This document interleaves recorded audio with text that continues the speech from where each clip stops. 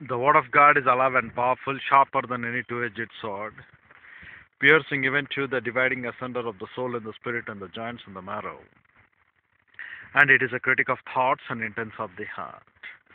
All scripture is God breathed and is profitable for doctrine, for reproof, for correction, and for instruction in righteousness, that the man of God might be mature, thoroughly furnished unto all good works. Study to show thyself approved unto God, a workman that needeth not to be ashamed, rightly dividing the word of truth, or accurately handling the word of truth. Dear brethren, we shall look doctrine of eternal security because it is quite essential for us to make note that many of the people have this problem in their thinking to think whether they have been really saved or not. They have been raised by the moron pastor teachers who do not have absolute assurance or faith in the very words of our Lord God Almighty who spoke through our Lord and Savior Jesus Christ, but rather they want to still doubt His words. They want to still doubt His immut- immutability, and they want to tell that their Lord is not veracity. But for them, it, this is a doctrine of eternal security. Point number one positional approach. Every believer is in union with Christ.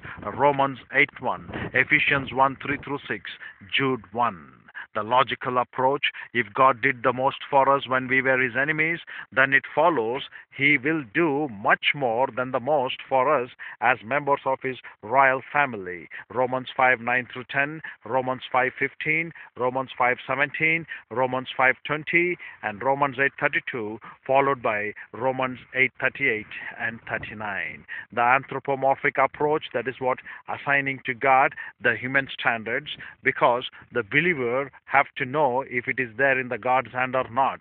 The believer is held in God's hand and he will never let go, as per Psalms 37:24 and John 10:28. And we do have a longer time where the people will say, "Now I no longer believe in Christ." We have the experiential approach. Though we say we no longer believe, God remains faithful, though we are faithless, because of His immutability. 2 Timothy 2:12 and 13. Point number five: the family approach. Since we are being born into the royal family of God and can never be removed, we are being eternally saved. A son is a son for you. If you cross-check with the DNA, he has that strands to prove that you are that he has been born to you.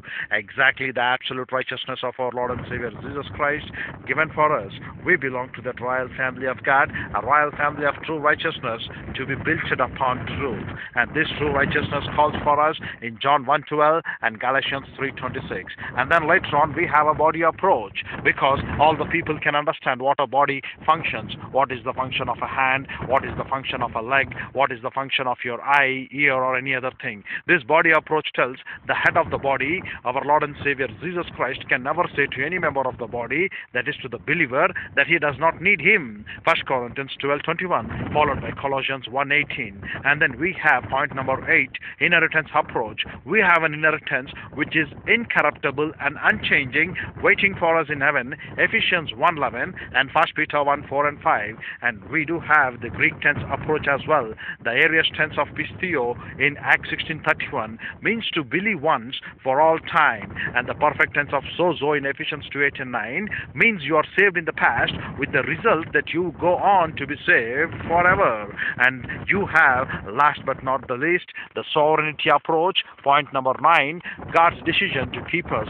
2 Peter 3:9 and Jude 24, and we have the sealing ministry of Lord God, the Holy Spirit, I guarantee that the name of every believer remains in the book of life forever. 2 Corinthians 1:22, Ephesians 1:13, Ephesians 4:30, 2 Timothy 2:19, in comparison with Revelation 20, 13, 15. Taken from the notes of the prodigal son, page number 31 and 32 of my mentor, human mentor, my guru, Robert Bunker Thieme. You need to understand these things so that you could be absolutely taken to the point you are being saved at the moment of salvation by faith alone in Christ alone. So that furthermore, you can rely upon the things pertaining to Christ and grow up to this unique spiritual life in this mystery doctrine of the church age. The great one never existed before, but now being made more manifest for us, so that in the eternity past, having predestined in love, Lord, before the foundation of the world, has chosen you to be holy and to be blameless.